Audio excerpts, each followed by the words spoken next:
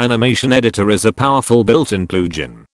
You can find it in Plugins tab. You can use the default rigs in Roblox for this. Click the Build Rig plugin and Plugins tab. Select the rig you want. I'll use R15 for this. Let's start with timeline. This space will contain keyframes when we start to edit our rig. You can change its duration by changing this value. We'll get into it later. I'm changing it back for now. We are ready to edit now.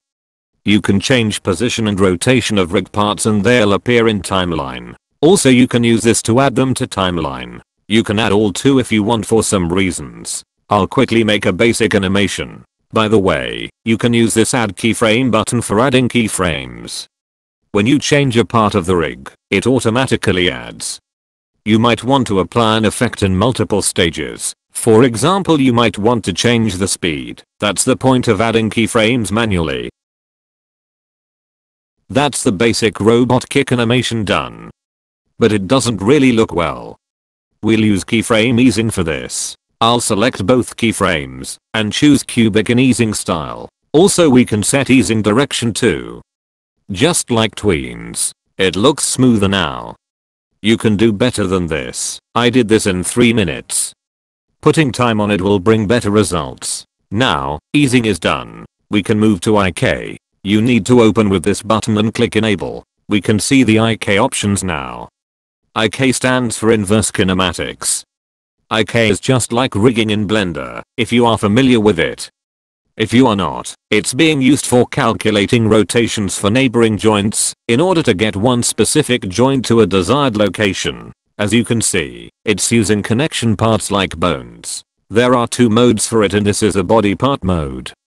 Body part mode only calculates related limbs. And we have the full body mode. It'll consider all body parts when moving a part.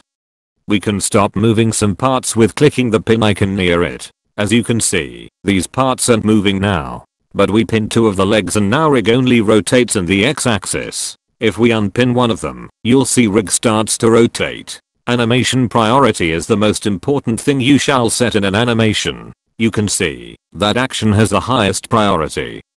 Higher priorities will override lower ones if they are being played at the same time. You can trigger loop with this icon. We can go over to settings now. I said we will get back to the time in video's beginning. Animation times are being displayed with seconds and frames as default. You can change it in the settings. Frame rate is each frames which are being displayed in a second. So if we set frame rates to 30 frames per second, we will need to write this to get a half second. Because we selected it as 30 frames per second. Back to settings, we can change the frames per second from there.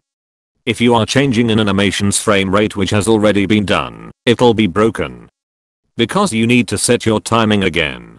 So I don't recommend changing this after you finished your animation. You can also see in seconds and frames mode, our maximum frames is now 60 frames after setting to 60.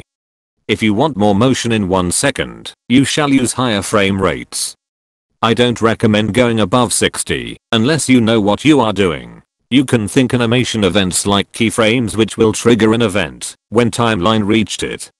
This will be useful in scripting animations. You must add a name for it in order to use in scripts. You can also rename keyframes.